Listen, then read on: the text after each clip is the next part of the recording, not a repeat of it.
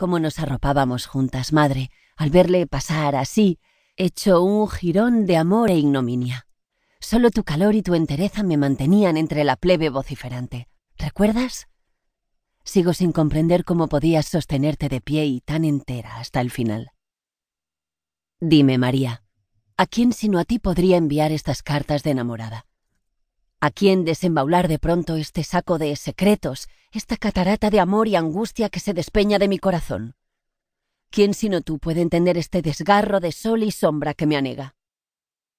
Comprobarás al leerlas que para mí también todo empezó en Galilea, como suelen decir los discípulos, después de que tú te quedaste sola como una flor abandonada en medio del erial y le dejaste en Cafarnaún libre para seguir su camino.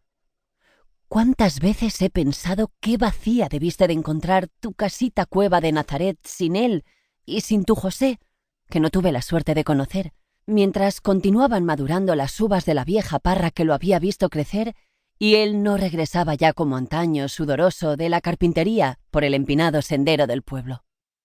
¿Cómo debieron de ser tus largas horas de ausencia y silencio? Aunque ese silencio, querida madre, tu silencio de siempre, incluso antes de que él naciera, ha estado en cada momento desbordado por una extraña plenitud. Al menos eso intuí desde que te vi por primera vez.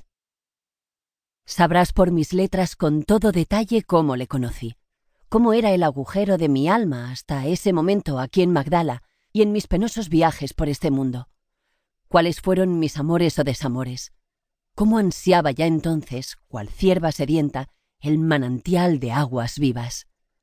Conocerás los hombres que han pasado por la vida de aquella adolescente y mi insatisfacción de raíz y hasta mis locuras a pesar de todas las riquezas de mi padre, mi escapada de todo, mi lucha de mujer por sobrevivir, mi muerte en vida.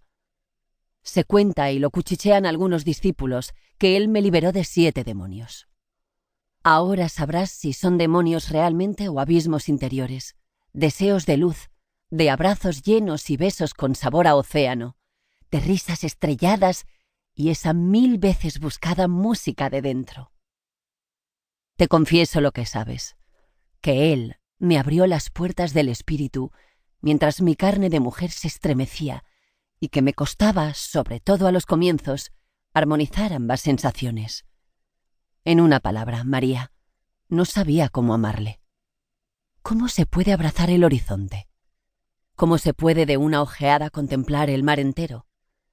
¿Qué sensación queda cuando una voz se te clava en el corazón y éste resuena hasta convertirse en cúpula de lo infinito?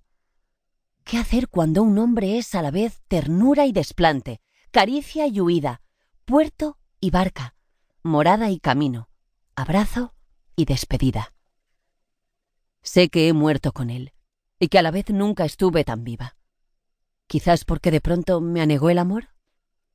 ¿O es porque el secreto del día se encuentra en la oscuridad hueca de la noche? Hace unos días estuve en su ciudad, Cafarnaún, en casa de Pedro. Todo estaba igual que entonces. El zaguán olía a brea y tinaja, cordel y pescado a la brasa. Sus discípulos asaban peces en el patio y salían regularmente a pescar como antaño hasta el amanecer. Dicen que lo han visto, pero ya sabes, irreconocible, como ahora se muestra, es él, pero no parece el mismo, y que lo encontraron en la orilla después de una pesca abundante. ¿Será una alucinación que sufrimos todos sus amigos provocada por el ansia y el dolor? ¿Llegué a verle realmente en aquel hortelano? Pues yo sigo con mis preguntas de mujer desconcertada, como me dejó en el huerto del sepulcro cuando me dijo que dejara de tocarle. ¿Cómo puede sin tocar vivir una mujer loca de amor? Siento mis manos como muñones y mis ojos como dardos sin diana. Me siento huérfana, viuda, perdida, mientras paseo junto al lago y desgrano los días, las horas, los minutos vividos junto a él. Algunas de las mujeres que le seguían han venido a verme.